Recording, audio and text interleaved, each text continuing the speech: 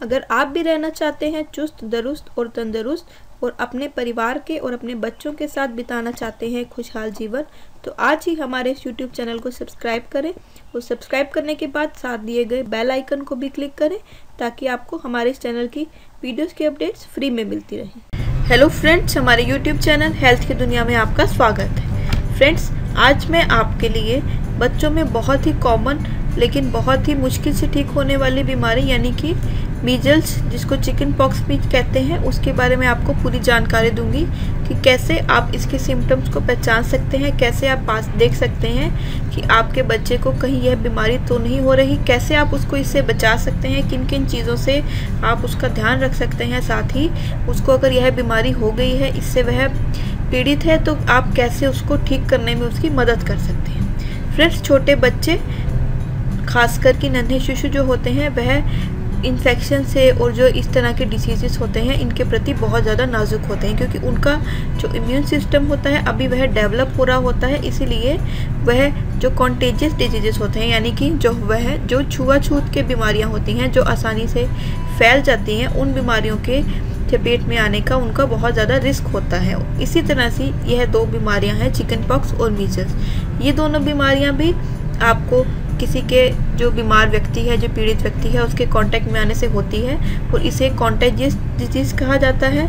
इसका सबसे आसान तरीका है अपने बच्चे को इससे बचाने के कि सही समय पर, सही टाइम पर अपने बच्चे को इसकी वैक्सीनेशन लगवाना। किस टाइम पर किस एज ग्रुप में आपको इस वैक्सीनेशन को लगवाना है, यह भी मैं आपको वीडियो के एंड में ज़रूर बताऊँगी। तो सबसे पहले आइए जानते हैं कि यह बीमारी होती क्या है, इसके क्या क्या सिम्टम्स हो सकते हैं, कैसे आप इसको पहचान सकते हैं और अलर्ट होकर डॉक्टर के पास जाकर अपने बच्चे का इलाज करा सकते हैं।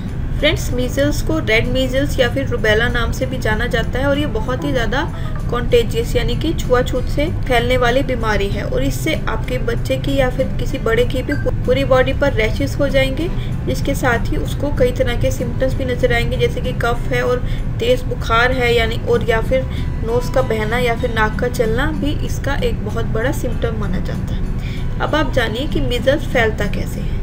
क्योंकि जो मीजल्स का जो वायरस होता है, वह हाईली कॉन्टेजियस होता है तो यह बहुत आसानी से फैल जाता है। जो पेशेंट है, जो पीड़ित इसके व्यक्ति है, उससे, उसके आसपास अगर कोई इंसान जाएगा तो वह उसको बीमारी का शिकार होने का बहुत ज़्यादा खतरा हो सकता है, ख़ास करके बच्चों में। क्योंकि जो मीजल्स का वायरस है, उसमें पस यानी कि म्यूकस से वह फैलता है, और जब अगर आपका जो पेशेंट है, जिसको यह बीमारी है, वह छींकेगा या फिर उसको कफ बनेगा इसी इसी कफ की मदद से, इसी जो उसकी छींकने की हेल्प से जो वायरस है, वह हवा में फैल जाएगा। और लगभग दो घंटे तक एक बार इस वायरस के व्यक्ति के मुँह से या कफ से बाहर निकलने के लगभग दो घंटे तक यह वायरस हवा में रहता है और जो भी इस समय में उसके कांटेक्ट में आता है, उस हवा के कांटेक्ट में आता है तो ये वायरस उसको भी ज़रूर ही अफेक्ट करता है तो यह डिज़ीज़ उसको भी लग जाता है। और यह चीज़, यह वायरस है, अगर आप उस व्यक्ति के साथ, पीड़ित व्यक्ति के साथ, जिसको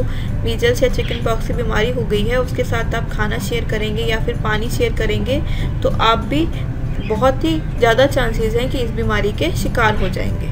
अब जानिए बच्चों में मीजल्स होने के क्या कारण हो सकते हैं। जैसा कि मैंने आपको बताया कि ये हाईली कॉन्टेजियस डिज़ीज़ है, इसीलिए अगर बच्चा जो विक्टिम है, जो पेशेंट है, उसके कांटेक्ट में आएगा, जिसको यह बीमारी ऑलरेडी हो रखी है तो बच्चा भी इससे ज़रूर इफ़ेक्ट करेगा क्योंकि बच्चों की इम्यूनिटी इतनी स्ट्रांग नहीं होती, वह जल्दी ही बीमार पड़ जाते हैं। पेशेंट को जो इससे पीरियड था, अगर बच्चा उसके साथ खाना शेयर करेगा, पानी शेयर करेगा या उसके साथ बैठेगा तो बच्चे की इस बीमारी से चपेट में आने की संभावना बहुत ज़्यादा है। अब जानिए कि वो सिम्टम्स क्या हैं, जिनके ज़रिए आप जान सकते हैं, आप पहचान सकते हैं कि कहीं आपके बच्चे को भी या आपको भी इस इस बीमारी के वायरस ने घेर तो नहीं लिया है। तो सबसे पहले है कि इस, इसमें आपकी बॉडी पे या बच्चे की बॉडी पे रैशेज यानी कि सारे जो चतके होते हैं, लाल चतके, आपकी पूरी बॉडी पे पहुँच जाएँगे, आपको दिखने लगेंगे। ये इस बीमारी का सबसे ऑब्वियस सिम्टम लेकिन इन चतकों के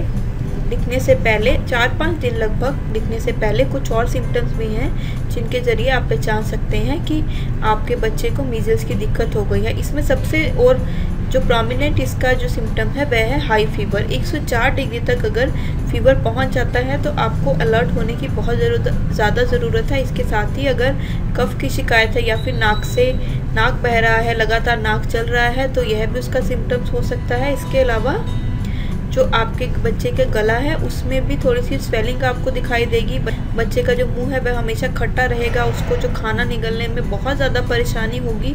इसके साथ ही उसकी जो आँखें हैं, उनमें भी रेडनेस आ जाएगी। और साथ ही साथ जो उसका मुँह है और उसका जो गला है, अगर आप उसमें ध्यान से सीखेंगे तो आपको ग्रेइश और वाइट कलर के स्पॉट्स नज़र आएँगे। फ्रेंड्स ये सब सिम्टम्स अगर आपके बच्चे में आपको नज़र आ रहे हैं आपका बच्चा ठीक से खा नहीं रहा है तो आप तुरंत चिकित्सक के पास जाकर इसका टेस्ट ज़रूर करवाइए, अपने चिकित्सक से ज़रूर एक बार सलाह लीजिए, ताकि आपके बच्चे को आगे इस बीमारी से ज़्यादा दिक्कत ना हो। जब आप डॉक्टर के पास जाएँगे तो वह डायग्नोसिस के लिए बच्चे की रेड स्पॉट्स और रैशेज़ को ध्यान से देखने के साथ साथ उसका सलाइवा टेस्ट यानी कि जो हमारे मुँह की लार होती है, उसका टेस्ट या फिर ब्लड टेस्ट करके यह कंफर्म कर सकेंगे कि बच्चे को मीजल्स है और यह जो वायरस है, वह किस तरह का वायरस है, यह भी आपके डॉक्टर आपको ज़रूर टेस्ट करने के बाद बता पाएँगे। अगर आपको अपने बच्चे में मीजल्स के सिम्टम्स नज़र आ रहे हैं तो प्लीज़ जल्दी से जल्दी डॉक्टर के पास ज़रूर जाएँ और ये टेस्ट करवा के उसको कंफर्म ज़रूर करें ताकि उसका सही तरीके से इलाज हो सके। देखिए, वैसे तो मोस्टली जो बच्चे होते हैं, वह धीरे धीरे डॉक्टर की देख में इस बीमारी से उभर आते हैं, लेकिन कई बार यह बीमारी अगर बढ़ जाए तो आगे चलकर यह निमोनिया का या फिर डायरिया का भी रूप ले सकती है। साथ ही साथ कई तरह की कॉम्प्लिकेशन भी हो सकती हैं। अगर प्रेग्नेंट लेडी को यह बीमारी हो जाती है मीजल्स की या चिकन पॉक्स की तो प्री मेच्योर बेबी का बर्थ भी हो सकता है। साथ ही साथ मिस कैरेज होने की भी संभावना काफ़ी हद तक हो सकती है। तो ये तो थे कुछ सिम्टम्स और बीमारी के बारे में पूरी जानकारी। अब मैं आपको ये बताऊँगी कि आप इसका ट्रीटमेंट कैसे करें। अगर आपको या आपके बच्चे को इस तरह की, किसी तरह की अगर फ्यूचर में भी कभी दिक्कत हो जाए तो आप इसका इलाज कैसे करें? देखिए फ्रेंड्स वैसे तो इसके लिए कोई भी मेडिकेशन अवेलेबल नहीं है। यह अपने आप ठीक होने वाली ही बीमारी है। लेकिन अगर इसके सिम्टम्स आपको नज़र आ रहे हैं तो आप कुछ रेमेडीज़ कुछ प्रिकॉशंस ले सकते हैं, जिनसे इसको ठीक करने में मदद मिलेगी। सबसे पहले है कि आपके बच्चे की एज के हिसाब से डॉक्टर की प्रिस्क्रिप्शन पर ही आप उसको पैरासीटामोल या आईब्रूफिन दे सकते हैं, लेकिन डॉक्टर जितना कहीं उतनी क्वांटिटी में और डॉक्टर जो दवाई कही, वही दवाई आप उसको दीजिए जिससे कि उसका फीवर कम हो सके और उसको, उसके शरीर में जो दर्द हो रही है, जो उसको थकान महसूस हो रही है, उसमें उसको आराम मिल सके। इसके अलावा इस चीज़ का भी पूरा ध्यान रखें कि आपका बच्चा ज़्यादा से ज़्यादा पानी पिए, वह हाइड्रेटेड रहे और उसको जो डायरेक्ट सनलाइट है, उसको, उससे तो बिल्कुल भी दूर रखेंगे। अगर आप डायरेक्ट सनलाइट में उसको ले जाएँगे तो बच्चे को बहुत ज़्यादा इचिंग होगी, जिससे वह बहुत ज़्यादा परेशानी में आ जाएगा। इसके साथ ही जब आपके बच्चे को चिकन पॉक्स या फिर इस तरह की कोई दिक्कत हो रही है तो आप उसको कम से कम छः से सात दिन तक स्कूल तो बिल्कुल भी ना भेजें, क्योंकि इससे इससे उसको तो तकलीफ़ होगी, साथ ही साथ यह बीमारी दूसरे बच्चों में भी फैलने का बहुत ज़्यादा खतरा रहता है। साथ ही साथ बच्चा जितना आराम कर सकेगा, वह उतना उसके लिए अच्छा होगा, वह उतनी ही जल्दी रिकवर कर पाएगा। इसके साथ ही फ्रेंड्स एक बात और ज़रूर नोट कीजिएगा कि अगर इस बच्चे को ऐसी भी ये बीमारी हो गई है या वायरस वायरल इनप्लस हो गई है तो आप उसको एस्पिरिन दवाई तो बिल्कुल भी ना दें। जो भी दवाई दें, वह डॉक्टर की प्रिस्क्रिप्शन के हिसाब से दें। जो इस बीमारी के चलते उसकी बॉडी पर रेड स्पॉट्स और रैशेस हो गए हैं, उनसे उसको इरिटेशन भी होगी और बहुत ज़्यादा खुजली और इचिंग भी ज़रूर होगी। लेकिन अपने बच्चे को इसको खुजलाने ना दें, क्योंकि इससे उसके शरीर पर स्क्रैचेस पड़ सकते हैं, जिससे कि आगे वैसे भी उसकी उसकी जो दर्द है, उसको जो बदन में दर्द हो रहा है, इसमें वह बढ़ जाएगी और यह स्पॉट्स भी उसके शरीर से आगे चलकर नहीं जाएँगी। तो अब आप जानिए कि आप इसको बचा कैसे सकते हैं? अपने बच्चे को आप चिकन पॉक्स की बीमारी से या मीजल्स की बीमारी से कैसे दूर रख सकते हैं? फ्रेंड्स इसके लिए एक साइंस ने हमारे लिए एक वैक्सीनेशन ईजाद की हुई है, जिसका नाम है एम एम आर वैक्सीनेशन ये बहुत ही इफ़ेक्टिव और प्रिवेंटिव मेजर है अपने बच्चे को चिकन पॉक्स से और मीजल्स से बचाने के लिए। अब आप सोचेंगे कि क्या इस वैक्सीनेशन को लगाने के बाद आपके बच्चे को कभी भी यह बीमारी नहीं होगी? फ्रेंड्स ये बहुत ज़्यादा इफ़ेक्टिव है। नाइन्टी फाइव परसेंट तक आप अपने बच्चे को इस वायरस के अगेंस्ट इस वैक्सीनेशन के बाद बचा सकते हैं। अब आप सोचेंगे कि यह वैक्सीनेशन आप कभी भी, कब अपने बच्चे को लगवाएँ? फ्रेंड्स ये वैक्सीनेशन आप कभी भी अपने बच्चे को नहीं लगवा सकते।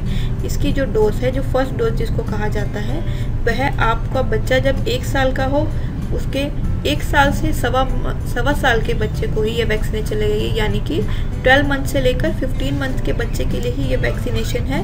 और इसकी जो एक दूसरी डोज होती है, वह चार साल से लेकर छः साल तक के बच्चे को दी जा सकती है। अगर आपका बेबी अभी छोटा है तो आप प्लीज़ इस एज में आने पर उसको इस वैक्सीनेशन की डोजेस ज़रूर करवाइए, जिससे कि आने वाले फ्यूचर में वह इस बीमारी से बचा जा सके। फ्रेंड्स अगर आपको भी कभी अपने बच्चे में इस तरह के सिम्टम नज़र आए तो प्लीज़ तुरंत ही जाकर डॉक्टर से सलाह लें और उससे यह डायग्नोसिस करवाएँ कि क्या आपके बच्चे को यही बीमारी है। अगर ऐसा है तो प्लीज़ जल्दी से जल्दी उसका इलाज करवाइए, उसका ध्यान रखिए, ताकि आपके बच्चे को जल्दी से जल्दी इस बीमारी से छुटकारा मिल सके। तो ये तो थी फ्रेंड्स इस बारे में पूरी जानकारी। अगर आप इस बारे में कुछ और पूछना चाहते हैं तो प्लीज़ नीचे दिए गए कमेंट बॉक्स में जाकर हमसे ये जानकारी ले सकते हैं। साथ ही फ्रेंड्स इस बात का भी ध्यान रखें कि अगर आपके बच्चे को ये वैक्सीनेशन नहीं भी मिली है तो आप उसकी डाइट का पूरा ध्यान रखें, उसको ऐसे फ़ूड दें, ऐसी चीज़ें दें जिससे कि उसकी इम्यूनिटी स्ट्रांग हो सके और वह इस बीमारी से जितना बच सके, उतना वह दूर रहे। अगर आपको हमारी वीडियो पसंद आई है तो प्लीज़ इसको लाइक कीजिए, इसको शेयर कीजिए और हमारे यूट्यूब चैनल को भी सब्सक्राइब कर लें। थैंक्स फॉर वॉचिंग धन्यवाद।